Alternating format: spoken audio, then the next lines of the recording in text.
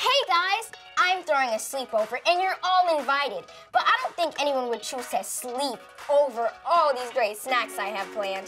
So let's get cracking with my snack and sleepover hacks.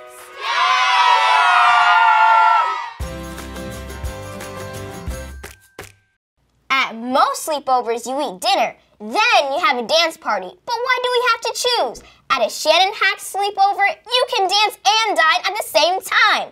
First up, my handy pizza rolls. For this you'll need crescent dinner rolls, string cheese, pepperoni, pizza sauce, a knife, a spoon, and a baking sheet. First, have an adult preheat your oven to 375 degrees. On a baking sheet, separate the dough into triangles. Use a knife to help.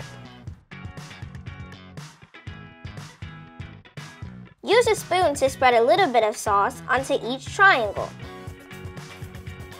Now add a few slices of pepperoni. Now cut the cheese. now place it across the wide end. Then start rolling it up like this. Fold any extra dough on top. Now bake them in the oven for 10 to 14 minutes. Find something to do while they bake.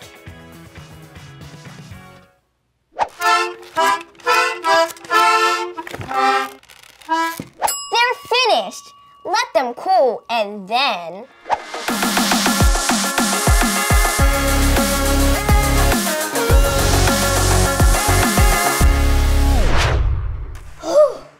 Just because dancing's over doesn't mean the party is. Next up, my brilliant brownie bowls. For these you'll need brownie batter, cooking spray, a spatula, and two muffin tins that are the same size. And you're gonna need an oven mitt. Preheat your oven according to the package instructions. Use your cooking spray to spray the whole muffin tin. Then fill it up with your batter about three quarters full. Use a paper towel to clean up the edges. Now bake your brownies for half the amount of time on your package instructions. When they are half baked, get an adult to take them out of the oven. Mom! Dad! Mom! Oh, hi, Mom. What took you so long? I never know what she's doing back there. But now, it's time to mitt up. Spray the bottom of the other muffin tin and carefully place it on top of the half-baked brownies like this. Then put them back in the oven to finish cooking.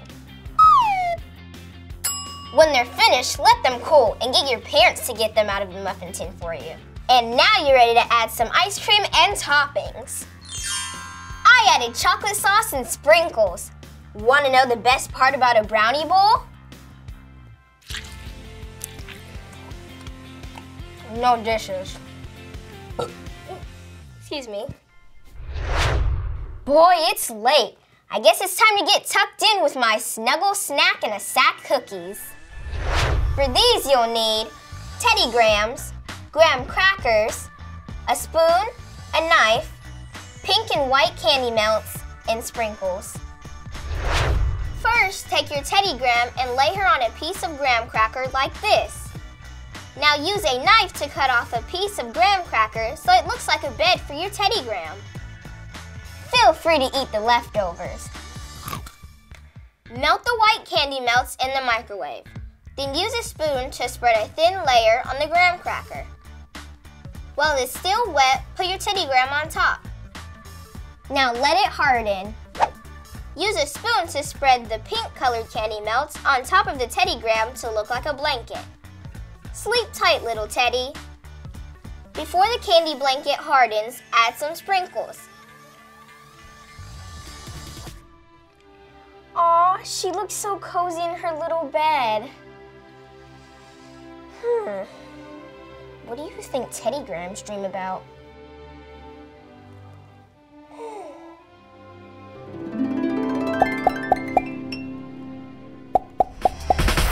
About.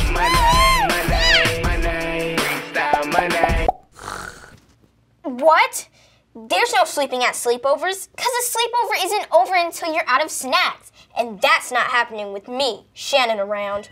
Remember to subscribe to DreamWorks TV and click here for more fun food hacks with me, Shanynn.